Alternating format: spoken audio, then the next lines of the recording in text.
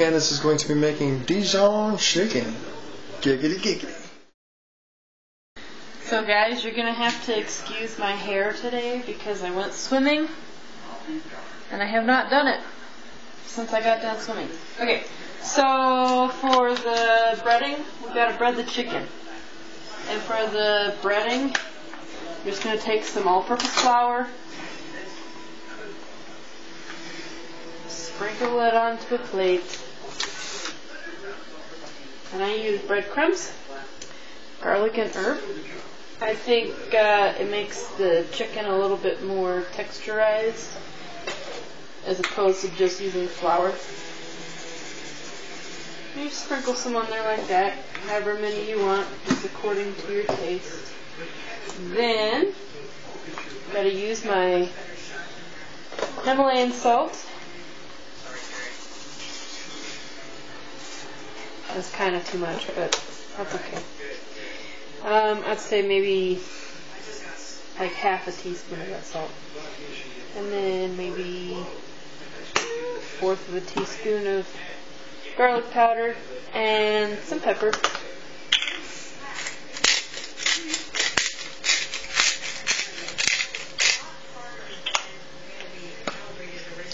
Then give it a little zhuzh.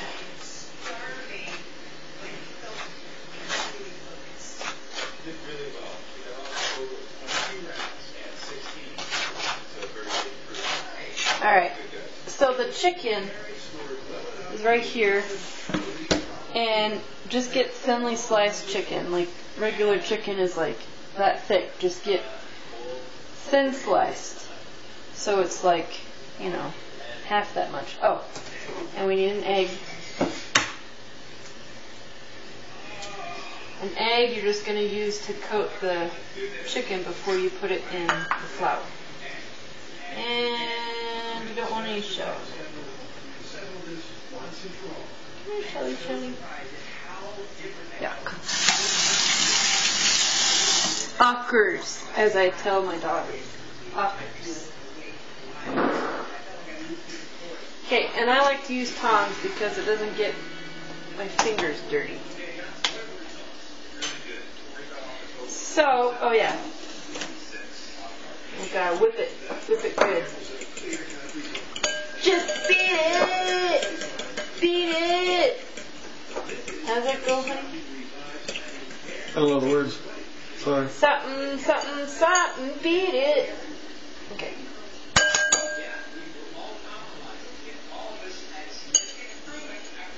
I need a spoon holder, you guys. You didn't get it for my wedding, so I have to do that. Okay. Then, you just take some chicken that's been trimmed. Thank you, honey. And you dip it in there like that. Then you throw it on here. Make sure the flour coats it really well. I normally do it twice on each side.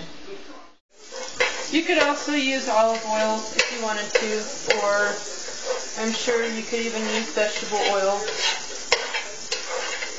But I just like the flavor that butter gives it. Okay, now I gotta take the chicken. And try not to make a mess. Put it in the pan. And you continue with all of this and put it in the pan. And when I get done with all that, I'll show you what to do next.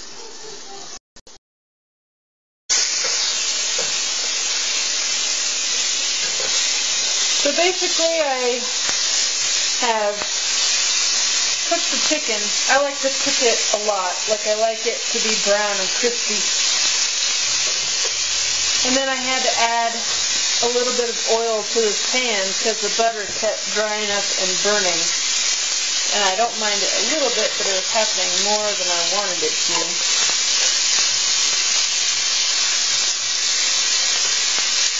So after your chicken is done cooking, you go ahead and take it out and you gotta take it out and put it in a separate container. I put mine in a bowl so I can add the juices back to it, back to this pan. The juices will come out. Just like so. Alright, so normally in this dish you put in you would put in onions right now, but I didn't want to have to buy onions and we don't really necessarily care for onions. One time I cooked this meal and I forgot the onions because I just forgot them and um, actually I'm going to add a little bit of butter. Um, and it ended up tasting just fine. It was good. So, um, since then I just kind of leave out the onions unless I just feel like having them in it. So, I just added some butter just because I want more of a base to my sauce. So, since I'm not putting onions in, I'm going to put in minced onions, dried minced onions.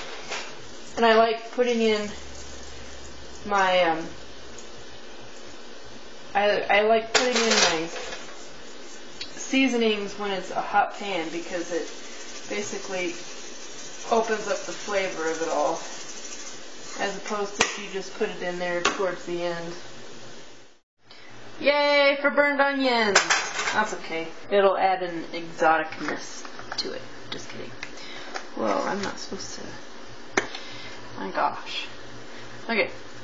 So I put dill in this, and I like to put a lot of dill. I would say a tablespoon, maybe two. I just, I like the flavor of dill. Oh, and you're supposed to have um, garlic in this, like minced garlic, but I don't have any minced garlic, and I forgot it at the store. So I am adding garlic powder. Um, normally you would do about a, a tablespoon of minced garlic, but that's just not going to happen. And then I'll add in some pepper just to flavor it up. And then you're going to want to get some chicken stock. And I always shake it up because there's normally stuff that settles to the bottom. And you're going to put in of this thing, I don't know, maybe half of it, maybe the whole thing. I don't know.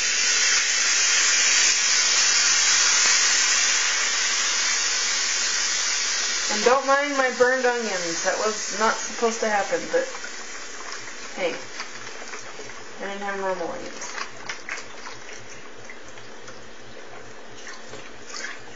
I just put it in, basically, however much sauce you want, put in that much chicken stock. That's my rule. And then I kind of save out some, like I don't put quite as much as I want because uh, when you add the cream, uh, the cream is going to make everything pretty thick. So if for some reason the sauce is too thick, then I'll add some more uh, chicken stock. So you kind of let that heat a little bit. Um, then take uh, coarse ground mustard, um, shake it up, and I just blop it maybe two, two or three tablespoons. However much you feel like putting in there. Basically, that's how I cook all my meals. And then I was so sad because that is all we have of my ground mustard. And I normally put a lot of mustard in here. Oh. Because that, I think, is what makes makes it really mustardy. Makes it really good. But I'm just going to put the rest of that in there. We're just to live with it. I put more Dijon mustard in there, or coarse ground mustard, than normal. And this dish is Dijon chicken when I don't actually put Dijon mustard in there. And I probably should, but I forgot to buy it at the store. So, then I'm to take a whisk. Or not. I'll take a whisk. And you just start stirring it up.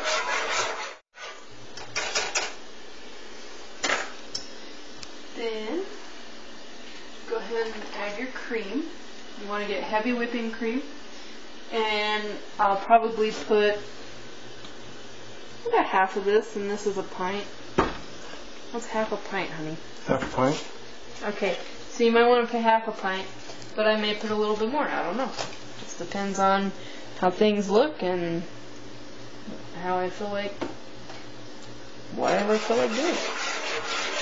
And that's when I said, like, if it gets too thick, you can just add more chicken stock. But if you put a lot of cream in there, it's going to get really thick.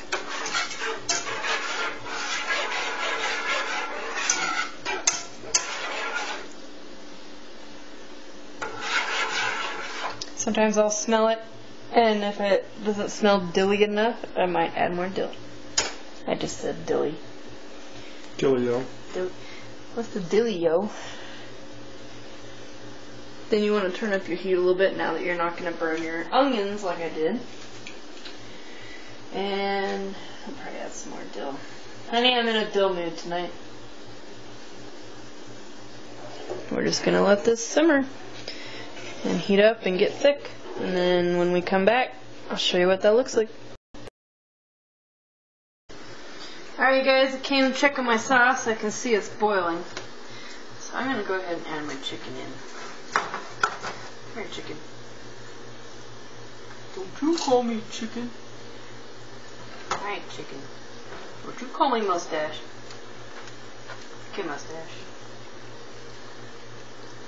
See all those ummy ummy juicies? Put them right back in.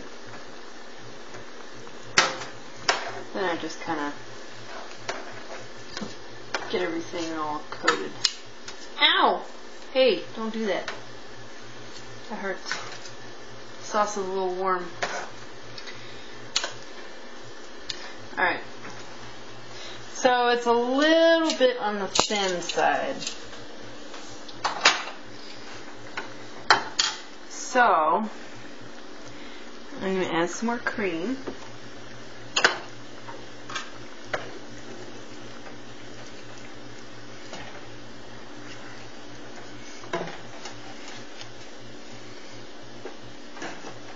Give everything a good stir. And the chicken needs to be in there for a while so all the flavors incorporate and get all mushy gushy. Now it's getting a little better. You want this, it's not supposed to be a gravy, it's supposed to be a sauce. And sauce is not thick like gravy, like real thick. It's, it's just like, you know, it's a sauce. So it's supposed to be pretty thin. And then you just kind of want to keep turning them so they get all coated and nice. And you are going to want to turn your heat down to um, a three or whatever that is. Medium low. Medium low. Yeah, there you go.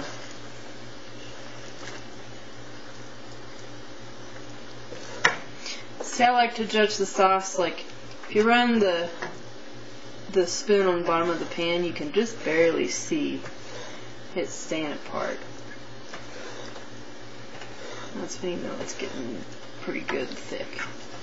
And remember, if it gets too thick, thicker than you want, you don't want it to turn into a gravy. If it gets that thick, you just add some more chicken stock. And then you'll have more gravy, or more sauce. So, I'm going to let this sit and simmer.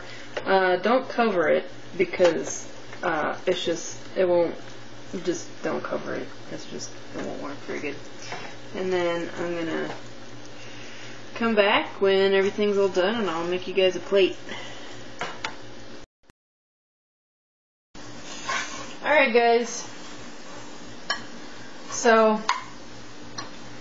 with this chicken I had to add some more chicken stock because as it kept cooking it was getting thicker and thicker and thicker. Too thick, so I went ahead and added some more chicken stock and it got down to a nice creamy texture. I also added some more dill because I tasted it and so in love with dill I couldn't even stand it. So I added more dill. Well, everything's done. Now it's time to make a plate. So let's make a plate. Honey, which one do you want? Matter. It doesn't matter. Um, can have this guy. Oh, and we're having this tonight with green beans and mashed potatoes. But normally when I cook it, I'll make it with broccoli and um, shell noodles. But I don't know. I just was in the mood for green beans. And plus, it's my husband's favorite vegetable.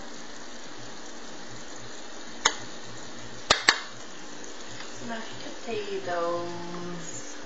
Oh, and we cheated and we got store bought mashed potatoes. But they're like amazing. They're like way better than I could ever make. So, how much mashed potatoes do you want? That's fine. And I make a little pocket. And then I get out my spoon. Because this is really good stuff. I'm going to put it basically over everything. So you can turn everything off. And that's pretty much it.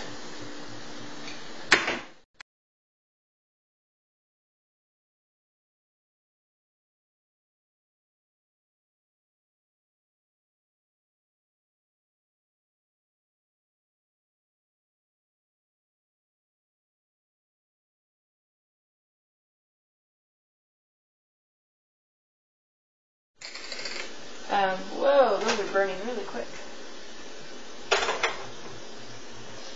Might want to turn down the heat. Turning down the heat. Well, dadgum. I just bought this tonight, so. Because we were out of my dill.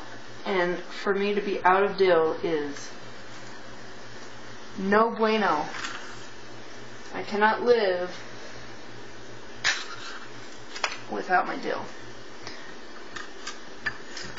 I put dill in everything, don't I, honey? Mm-hmm.